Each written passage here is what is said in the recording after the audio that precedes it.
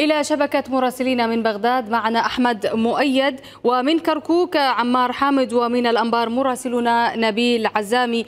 أهلا بك أحمد. البداية لخص لنا جغرافية الغرق في العاصمة. هناك مناطق مثل البلديات ومناطق حديثة أيضا وحدثت فيها صعوبات في حركة النقل والسير. كيف الوضع عندك أحمد؟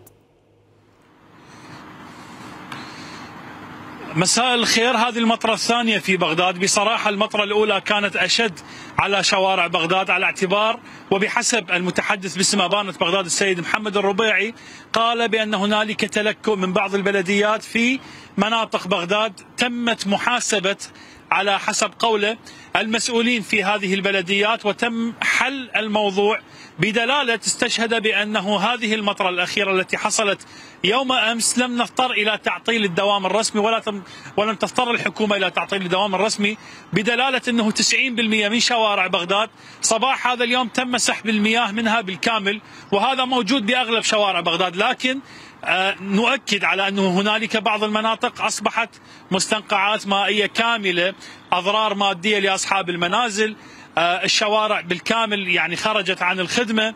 لعدة أسباب. منها قد يكون أنه البنى التحتية لهذه المناطق عمليات الصيانة لم تكن بالشكل المطلوب الذي يتناسب مع حجم كميات الأمطار التي سقطت على بغداد يوم أمس.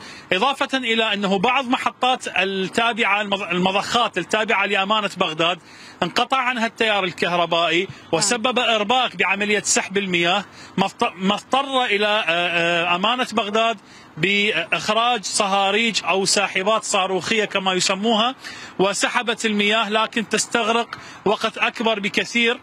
بالتالي هنالك ضرر على هذه المناطق.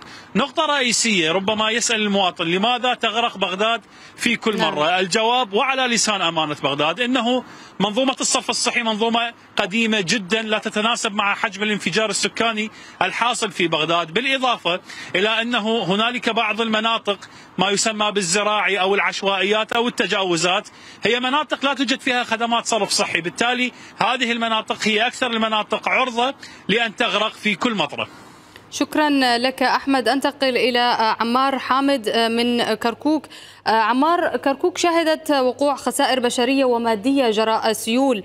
كيف تعامل أهالي كركوك مع هذه الموجات المستمرة المطرية خاصة مع تحذيرات رسمية للسكان وتعطيل أيضا الدوام في المحافظة؟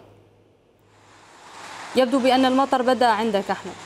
نعم كما تشاهدون هذه لم يتوقف المطر في محافظة كركوك ربما توقف لربع ساعة آه، صباح اليوم لكن موجات المطر مستمرة من منذ يوم أمس في محافظة كركوك آه، وتسببت للأسف بخسائر بشرية ومادية وخصوصا في أطراف محافظة كركوك وتحديدا في قضاء الحويجة ناحية العباسية. هناك آه، كمية كبيرة من الأغنام أخذتها السيول وجرفتها بالإضافة إلى امرأة جرفتها السيول أيضا في ناحية العباسي في قضاء الحويجة في كركوك. الأمطار مستمرة داخل المحافظة آه، تمت السيطرة عليها لكن التيار الكهربائي أيضا آه، مثل ما أكد زميل أحمد في بغداد في كركوك أيضا في أشد آه، عندما اشتدت أزمة المطر وفي المحافظة ليلة أمس التيار الكهربائي شهد انقطاعا مستمرا في بعض المناطق داخل محافظة كركوك وفي أطرافها أيضا.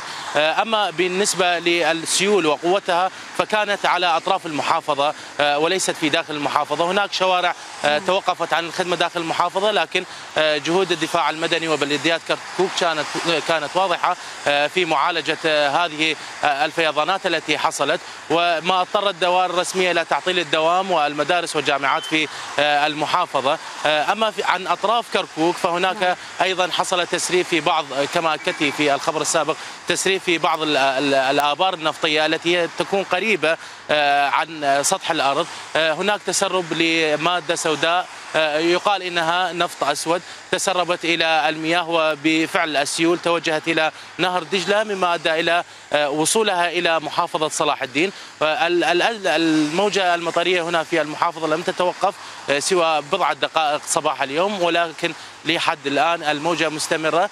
كما اكدت لك في داخل المحافظة لا توجد فيضانات كبيرة بحجم ما شهدتها أطراف محافظة كركوك. أما بالنسبة للسدود فاتصالنا بمدير سد قضاء الدبس الذي يحتوي على سدان سد على الزاب الصغير وسد الآخر على مشروع الري. أكد بأن نسب المياه ازدادت خلال المطرة الأخيرة كما يسمونها في من يوم أمس إلى إلى الآن. فمناسيب المياه ارتفعت في هذه السدود أيضا. شكرا لك عمار ننتقل مع زميل نبيل إلى الانبار، الأنبار مختلفة ربما انتشرت صور عن غرق الأقسام الداخلية في جامعة الأنبار وأيضا شهدت وديان المحافظة فيضانات، كيف تأثرت المحافظة بموجة الفيضانات والأمطار؟ ضعنا أكثر في المشهد.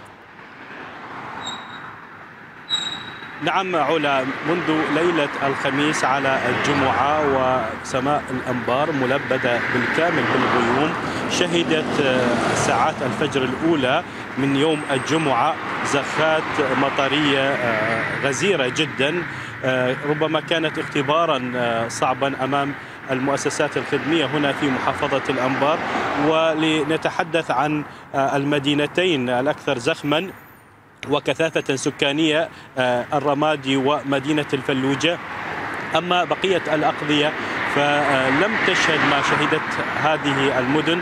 خصوصا أن مثلا على سبيل المثال القاطع الجنوبي لمدينة الفلوجة وأيضا القاطع الشمالي المستحدث هذه الأحياء تشهد ومنذ فترة ليست ببعيدة حملة إعادة تأهيل وأعمار البنى التحتية الموجودة فيها على صعيد المجاري وكذلك الشوارع ما زالت حتى الآن يعني تعمل خلال هذه الفترة.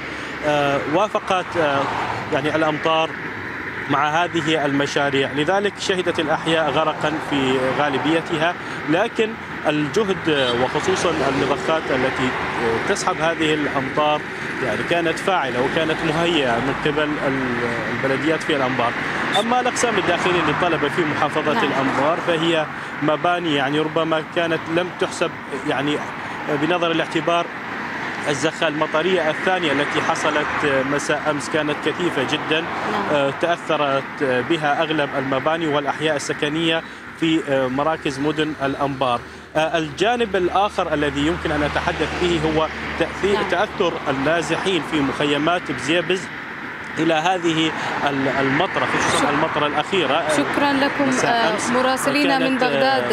الشكر موصول نعم. لك نبيل عزامي وأنت تتحدث وأيضا عمار حامد وأنت تحت المطر وأيضا أحمد مؤيد. شكرا جزيلا لكم.